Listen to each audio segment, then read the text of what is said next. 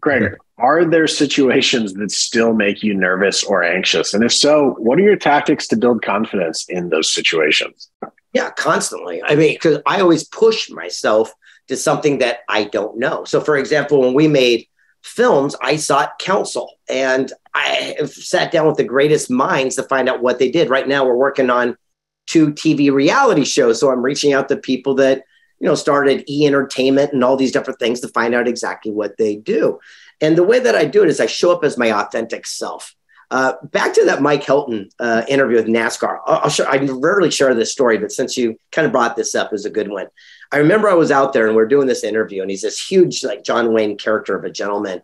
And he was sitting there and his arms were crossed, and he was angry guy, and the whole office was filled with all of his employees and camera crews and all this different stuff.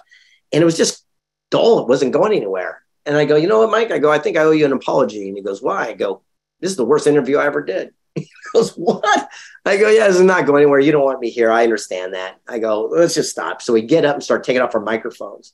And I go, hey, Mike, let me ask you something. And he goes, what? I go, you know, when you got that first million dollar check, that big giant cardboard thing? I go, when you went home and told your mom, what'd she say? You go, you know what? She told me to take out the trash, but my dad, he loved it. In fact, he told me, and, and then he sat back down. And all of a sudden, he reached in his pocket and he pulled out this tattered piece of paper. I mean, literally, it's just falling apart. And I go, What's that? He goes, It's the Cowboys Ethics Code of the West. I go, What did they mean? He goes, This is how we started NASCAR. He goes, people understand this, but back in the earlier days, he goes, when the France family started it, uh, it was all about, you know, Winston Cup, smoking cigarettes and drinking, and, you know, we were moonshiners. He goes, but I saw more families coming out. So I did the Cowboys Ethics, which is, you know, say less, you know, speak less, say more, do what's right, right for the brand.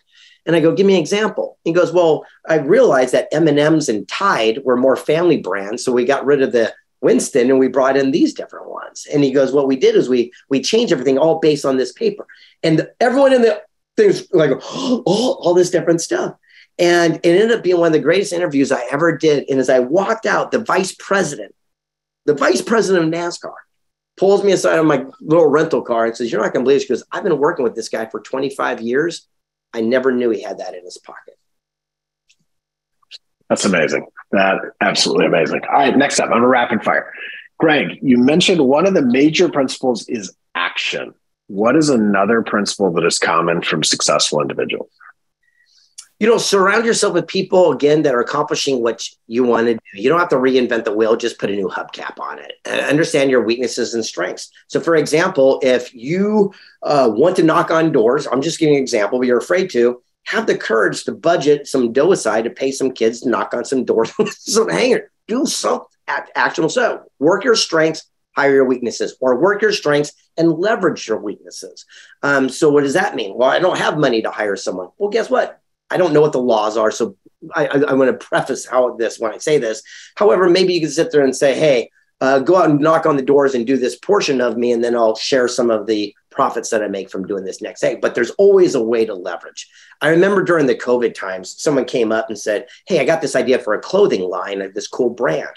Uh, and then I knew another guy who made T-shirts in his, you know, garage, and they couldn't work anymore because everything was shut down. And another person made websites. So you put the three together. Now all of a sudden they've got a three-pronged business where everyone's working their strengths, and together came out with a clothing line that's going crazy. You see the difference?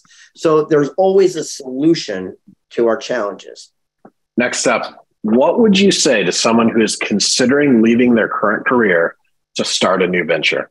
You know, again, I, I'm not a counselor, I'm not a psychologist, and you only know what's best for your family. But I am one of those crazy believers that I think we should work our day job and work our side hustle until our side hustle becomes bigger than our day job, or at least if we can know we can make that transact uh, transition. Because scared money doesn't make money. You know the old song, but it's true. So for myself, again, this is just because you're asking my counsel is I would sit there and make sure that I had something going over here and I got the uh, words of wisdom, at least got the knowledge and experience to go forward. And here's another thing if I wanted to get into something brand new, for example, the music industry, I'll make it up, and I knew nothing about it, before I quit my job and go into music industry, what I would do is I'd ask to volunteer and to work for free at a music studio. And then I would do that for a week, a month, a year, whatever, to see if I even like the industry before I give up my whole you know dreams to go to something. And i think people miss that opportunity. There's so many ways to go test and try things without having to go all in and put yourself at jeopardy